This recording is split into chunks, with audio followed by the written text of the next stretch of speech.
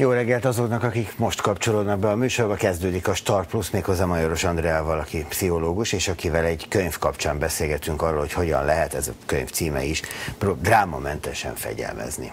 Ugye megbeszéltük itt az előbb, hogy kettőnek van együttesen hét gyerekünk, ha összeadjuk a gyermekeink számát, tehát nagyjából tudjuk azt, hogy dráma, na az van a gyerekek között meg a szülők és a gyerekek között Igen. is.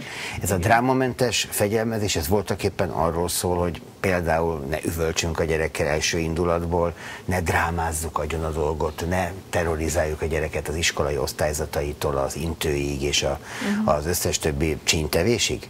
Hát valami ilyesmi, igen. A nagyon érdekes, mert hogy volt a 90-es években egy irányzat az agykutatások kapcsán, amiben ugye azt fedezték fel, hogy az a, a, a gyerek agya az folyamatosan érik, és hogy a frontális lebeny, ami a tervezésért, belátásért, késleltetésért, egyebekért felelős, az még nem érett elég, és akkor volt egy olyan irányzat, hogy azt mondták, hogy hát hagyni kell a kamaszokat, mert hogy hát nem tehet róla, de még nem tudja szabályozni a viselkedését, és hál' Istennek most egy ilyen integratív szemlélet kezd el terjedni, amiben, amiről ez a könyv is szól, ami arról szól, hogy jó, oké, ezt tudjuk, hogy ők, ők nem képesek még az érzelmeiket szabályozni, de az még nem azt jelenti, hogy nekünk nem kell kereteket és határokat rakni a gyerekek hát közé. Nekem szülőként ez a dolgom, hogy ezt, igen, ezt igen, neki. És, de behoz egy, egy nagyon fontos új szemléletet, ami arról szól, hogy addig nem tudok fegyelmezni, vagy addig nem tudom megtanítani a gyerekemet arra, hogy hogyan helyes viselkedni, amíg az ő érzelmei tombolnak. Szerintem ezt a felnőttek is nagyon jól tudják, hogy amíg érzelmileg egy túlhevült állapotban vannak, addig kevésbé tudnak gondolkodni. És ugye nagyon sokszor esünk abba a hibába, hogy egy gyerekkel elkezdünk vitatkozni, a szülő is, meg a gyerek is egyre feszültebb, és az érzelmi szint, a feszültség szint az egyre följebb Na de hát ezt hogy kezeljük? Ugye nekem van egy véleményem, de már neki is van már véleménye, is és van. ezt ő el is mondja. Én meg azzal nem értek egyet, hagyjam rá.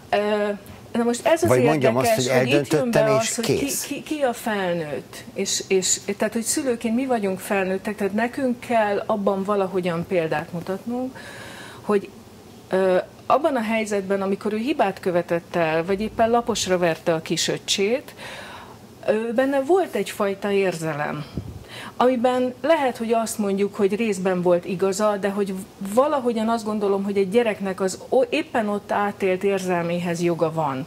És ez a könyv pont azt mondja, hogy akkor tudjuk megváltoztatni az ő viselkedését hosszú távon, hogyha megpróbáljuk megérteni azt, hogy benne milyen érzelem dúlt. Ami nagyon nehéz, de hogy ez egy, ez egy alapvető folyamat. Még érteni talán nem is annyira nehéz, hisz mi is voltunk ennyi idősek. Ö, igen. Tehát valamiféle emlékképeink vannak arról, hogy hát mi kamaszként hogy reagáltunk. De tolerálni nagyon nehéz, és tudomásul venni azt, hogy, hogy ez egy valódi érv. Tehát, hogy az ő érzelmei, azok valódi érvet jelentenek az én álláspontommal szemben. Igen, de hogy itt jön be az, amit az agykutatásból mint tudományos háttér ez a könyv belerak.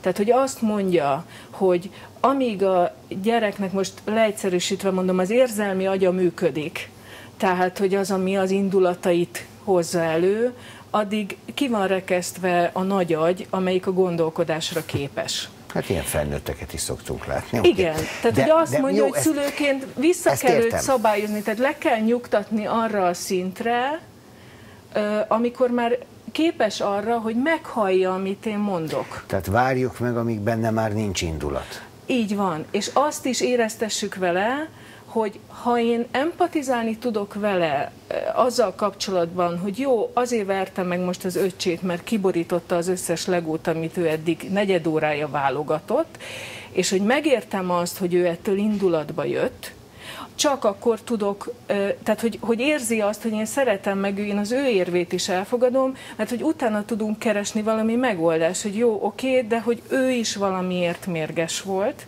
már mint a kisöccse, mert ő meg ki volt rekesztve valamiből. Tehát, hogy ez nagyon nehéz, és én azt gondolom, hogy, hogy ha tehát minket se tanítottak meg, ennek van egy pszichológiai elnevezés, ez a mentalizáció, hogy én képes vagyok arra, hogy beleképzeljem magam abba, hogy akivel konfliktusba vagyok, az milyen érzelmi állapotban van, hogy miért úgy érvel, ahogy, és hogy ezt gyerekkorban ezzel a módszerrel lehet tanítani. A gyerekek, a gyerekek nagyon jól tudják manipulálni a szülőket. Aminek mi jól ki vagyunk téve, még akár egy ilyen helyzetben is, hiszen jön a kicsi, hogy engem így bántott, így vert meg, ilyen sérelmet okozott nekem a nagy, a uh-huh. nagy pedig azt mondja, hogy ebből egy muk nem igaz. De hát ebben már ott vannak az indulatok a gyerekek között.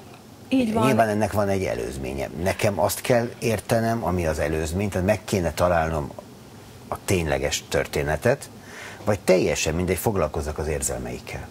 Ö, Szükség van arra is egyébként, hogy a miérteket, tehát hogy megkérdezzük tőlük a miérteket. És nyilván ők gyerekérvekkel fognak válaszolni. Tehát, hogy ez, ez biztos ott van, és az is ott van, hogy ez egy, ez egy folyamat nyilván, hogy ők elkezdenek valamikor rivalizálni, és küzdenek a szülő figyelméért.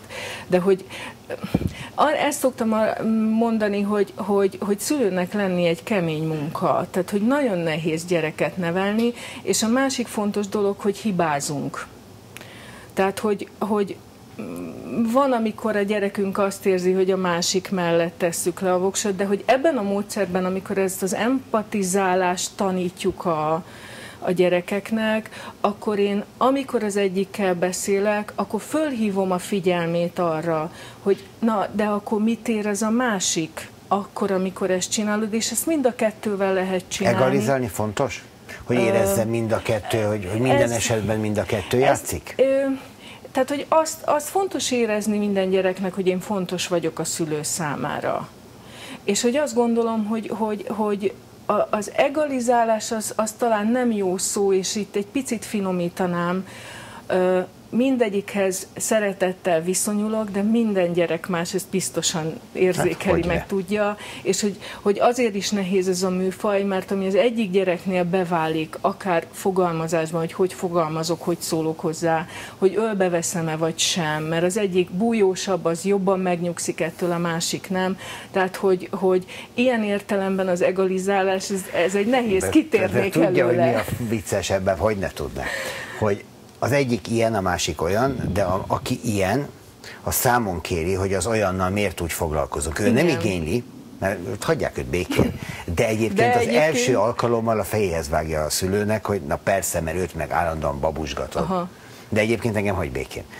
Tehát, hogy ezek, ezek megkér... nagyon furcsa, furcsa dolgok, mert fegyverként használnak mindent adott esetben a saját érzelmi És manipulálnak, hát, meg ne? egyebek, de hogy, e, tehát, hogy én azt gondolom, hogy ezzel a fajta kapcsolódással, amiről ez a könyv ír, hosszú távon ö, valahogy egy másfajta kommunikációra lehet átérni. Én nem mondom, hogy ez most egy ilyen feltétlenül rögtön mm, működő dolog, mert hogy ehhez idő kell. De ugye az egy nagyon fontos szempont, hogyha ők idegesek, mi próbáljunk higgadtak maradni. Az, igen. Mert azzal tudjuk őket is megnyugtatni. Ráadásul, hogyha mi megpróbálunk higgadtak maradni, talán okosabb mondatok is jönnek ki a Hát, hogy, hogyha mi is le tudunk higgadni, mert arról is ír, hogy mi szülők miért nem tudunk higgadtak maradni. Hát mert az idegeinken ugrálnak egy csomószor. Igen, de hogy ebben van, van a múlt is, tehát hogy mindenki az otthonról hozott minták alapján dolgozik. És hogyha még nyugodt helyzetben el is dönti azt, hogy én szülőként meg mit fogok csinálni, amikor van ez az érzelmi agyunk vezérel minket, mert éppen fölbosszantott a gyerekünk, akkor nagy valószínűséggel azért a szülői, tehát a szüleinktől látott rutinok hát azok Sőt, egy csomószor az ember úgy érzi, hogy ajaj, Aha. Ezt ugyanazt csinálom, amire azt amire mondtam azt gyerekkoromban, hogy na, ez, ez a mondat nem fog kijönni a számon, biztosan van. soha. Így van. Így hát van. igen, ezt ismerjük. Uh, még egy, egy utolsó kérdés, mert az időnk az, az nagyon elmegy. Azt a szülő jó, ha beismeri, ha hibázik? Igen. Ez is egy nagyon az fontos. a gyereket? Igen, igen mert, hogy, mert hogy azt látja, hogy hibázott, akkor lelkiismeret furdalása lehet, vagy megjelenik egy természetes szégyenérzet, de ha a szülőn is azt látja, hogy ő beismeri a hibáját, és kap egy mintát arra, hogy ezt hogy kell jóvá tenni, akkor ezt, ezt mintaként használja És nem arról van szó, hogy van egy ilyen meg, mérgező megszégyenítés, vagy egy ilyen megalázása a gyereknek, amikor én fölülről lekezelően elmondom, hogy na de ezt nem, meg hogy hogy képzeled. Ugye vannak ezek a mondatok. Nem szégyelled magad, hogy hányszor elmondtam már, és ezekbe belecsúszunk. Hát haj, hányszor elmondtuk Hányszor már pedig, elmondtuk hogy nem már. fogunk. Így van. Majoros Andrea, köszönöm Én szépen. is köszönöm.